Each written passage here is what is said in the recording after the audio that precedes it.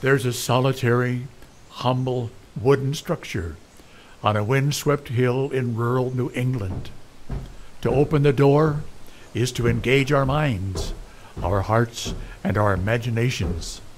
In this place, preachers and professors, past and present, come alive as they walk the aisle, ascend the pulpit stairs, and teach. From theology, from history, and from the Word of God. Welcome to the Saybrook Meeting House, an audio production of Saybrook Ministries.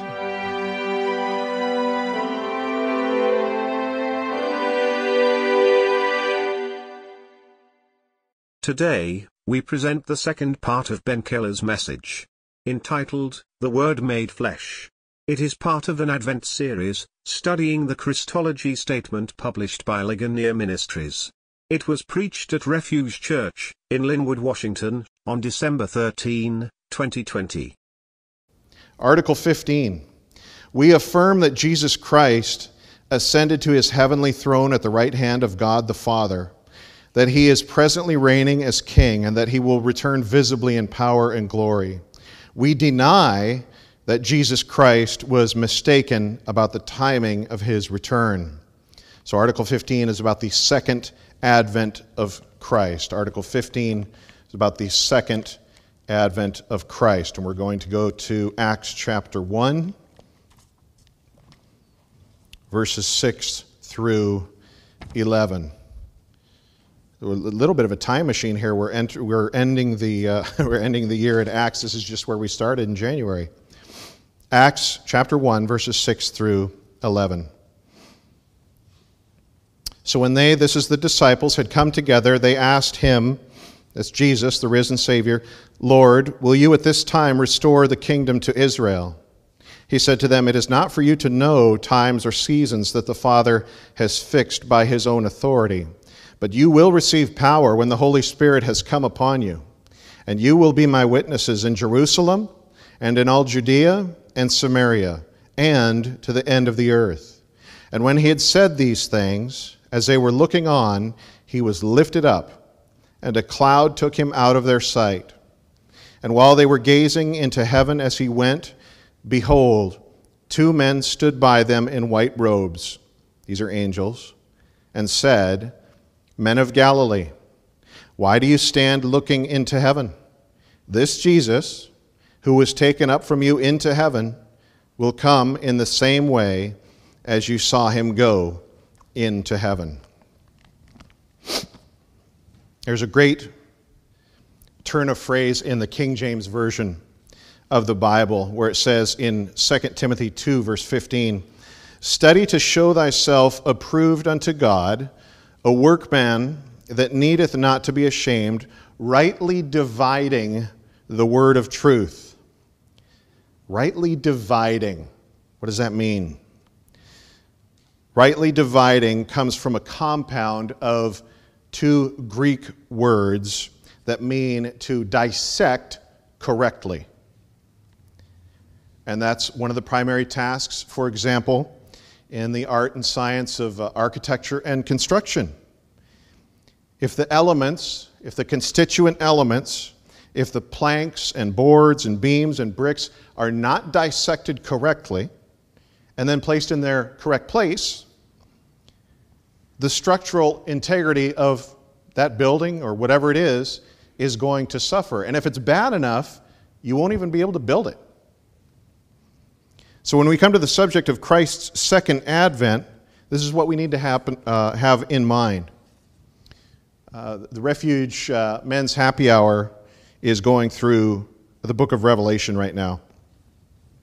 Is it complex? Yes. Do we understand all of it? No. Do we know more now than we did when we started? Yes. That's the task before us. And all too often, and I include myself in this, Christians approach the study of scriptures the same way the disciples approached prayer and watching in the Garden of Gethsemane, meaning, namely, they fall asleep after five minutes. And our Lord would say to us, Can you not study my word for 30 minutes? Can you not pray for 15 minutes? And often we find ourselves weak, like the disciples, don't we? Ask Him for help, He'll be faithful. The denial of this article talks about the fact that we deny that Christ was mistaken about his return.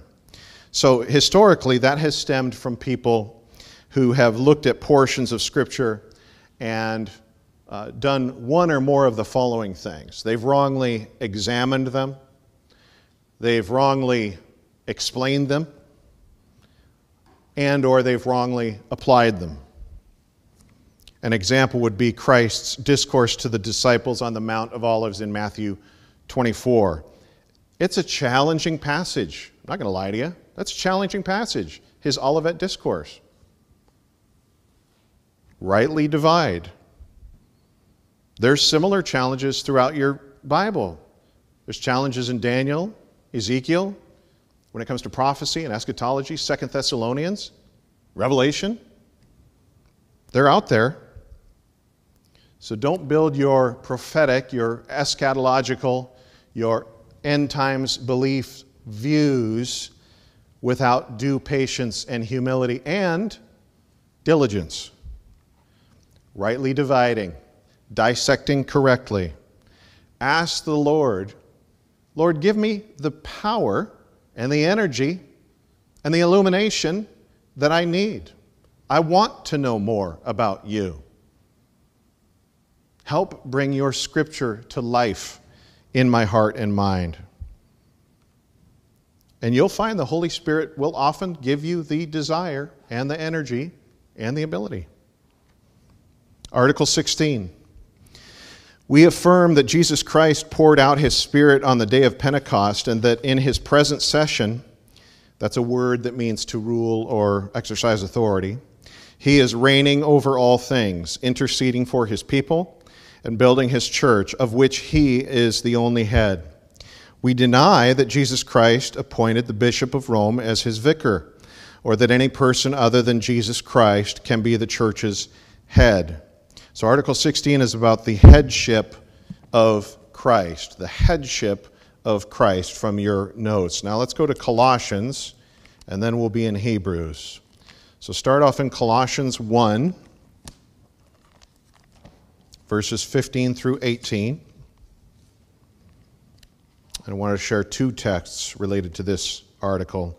Again, there are way uh, more in the, the stuff that you've already been sent out, I think, via email, and the statement itself is uh, readily available online. So you can see the whole list of proof texts as you want to dig into it. But I was trying to uh, share with you guys, in the interests of limited time, uh, some of the most representative ones. Colossians 1 15 through 18.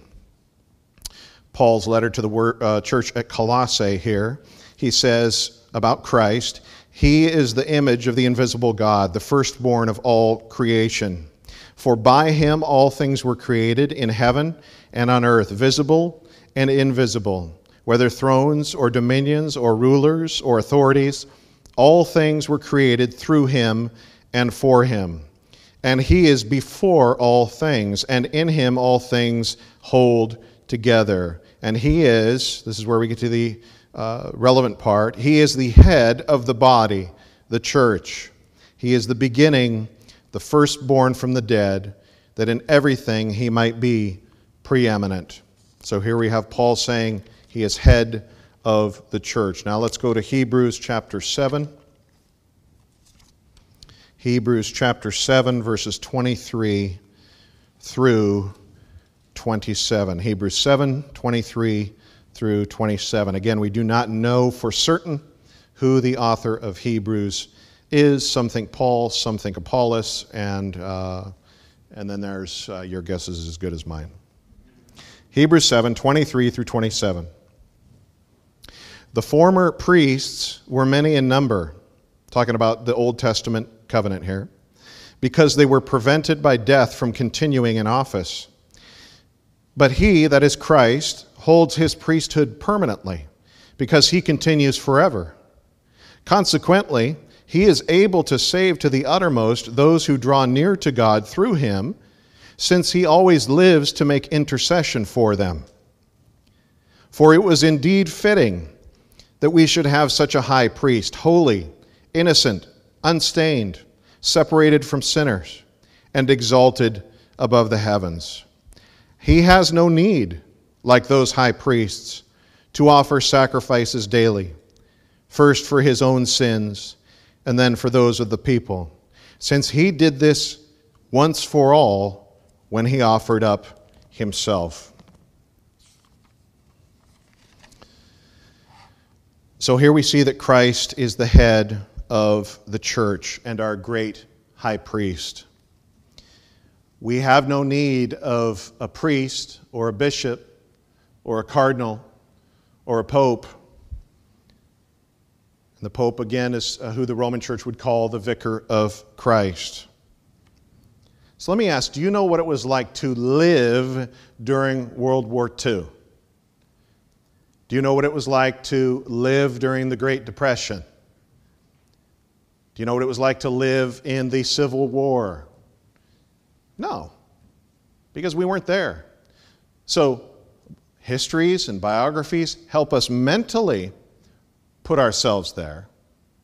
But those we know who were there during it, if you lived through 9 11, you experienced it. It was in the air. And there are certain intangibles there that are hard to communicate. So,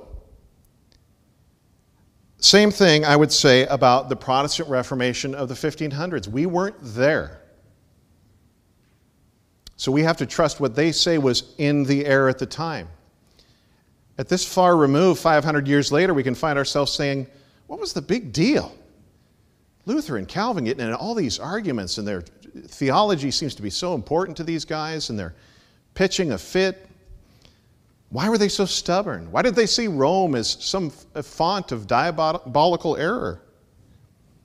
So thankfully, we have in Calvin's writings an answer. So he was there, he experienced it. His life was in danger. He had all sorts of deprivations and persecutions.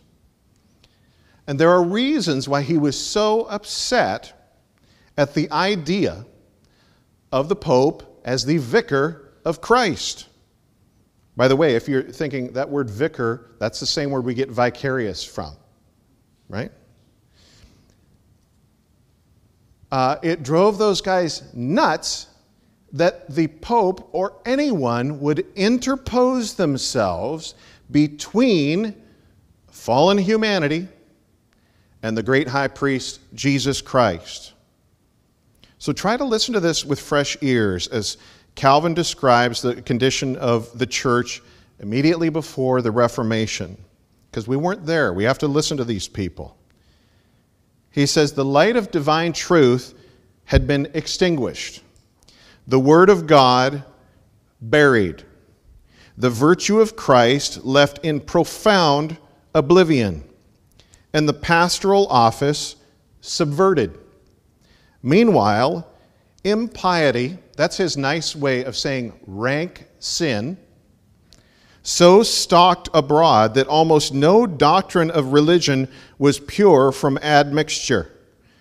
No ceremony was free from error, and no part, however minute, of divine worship was untarnished by superstition. Now, you can say, well, Calvin was wrong. You can deny his assertions. But if he was right, then that is a church greatly in need of reformation.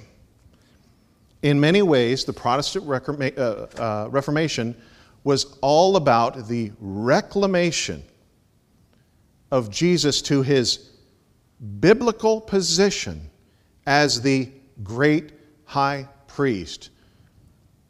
And we do not have to go, you, I, any human being on earth, through an intermediary for our redemption. And that's great news.